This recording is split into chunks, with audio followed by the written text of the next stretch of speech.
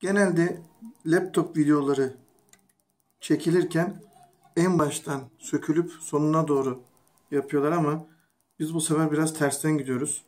Cihazı tanıyabilmek için, yakından tanıyabilmek için söktük. Neleri destekliyor diye bakmak istedik. Hiçbir video bulamadığımız için de bu videoyu başkalarına yardımcı olabilmesi için çekiyoruz. Şu anda elimizde Samsung bir notebook var. Bu da elimde gördüğünüz anakartı. Cihaz AMD işlemciye sahip. Güzel bir cihaz. Performansı yüksek bir cihaz.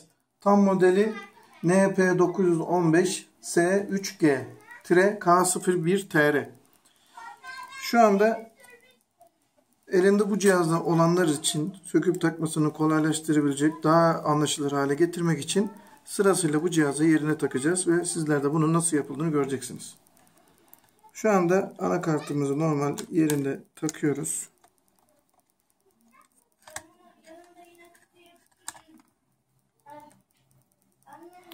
Şurası hard disk yuvası. Hard diskimiz MSATA denilen yeni nesil RAM'e benzeyen hard disklerden. Çok hızlıdır ama alternatifi çok olmayan. Değiştirmek istediğinizde biraz maddi yönden sizi sıkıntıya sokacak hard disklerden. SSD'dir. Çok hızlıdır. RAM kısmı şurası. RAM onboard. Onboard olduğu için arttırılamıyor. 4 GB onboard RAM koymuşlar. Şu tarafına bakıyoruz. Maalesef hiçbir şekilde arttırmaya müsaade etmiyor. İşlemci yeri burası. Burası da soğutucu yeri. Şimdi yavaş yavaş yerine takmaya çalışıyoruz. Şu kablolarımızın şuradan değmemesine dikkat edelim. Buradan da Bu çalışmaları yaparken kendinizin statik elektriğini boşaltmayı unutmuyorsunuz. Yoksa cihaza zarar verebilirsiniz. Şu anda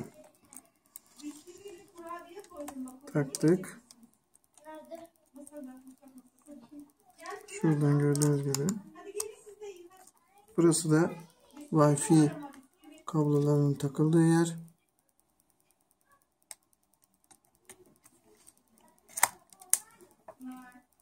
Beyazı yukarıda. İlk taktığım şey olsun. Bu tür cihazları sökerken eğer hangisi hangisiydi diye şaşırmak istemiyorsanız muhakkak sökmeden önce bir resmini çekin. Daha sonra o resme bakar hangisinin neresiyle ilgili olduğunu daha kolay hatırlarsınız ve hatasız bir şekilde tak takabilirsiniz. Şu anda SSD hard disk takıyorum. Bunun bu şekilde anakarta direkt takılıyor olması cihazın performansı açısından da çok önemli. Çok hızlı bir şekilde çalışıyor. Bu cihazı neden böyle kompakt yapmışlar?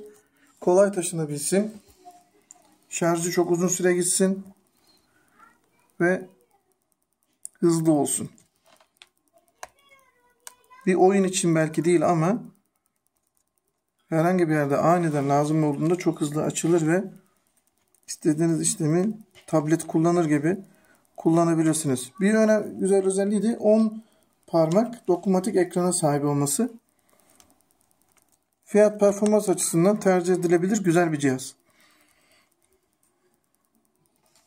Neredeyse bitti. Fazla bir şey kalmadı. Şu an bu taktığım ekranla ilgili bir şey.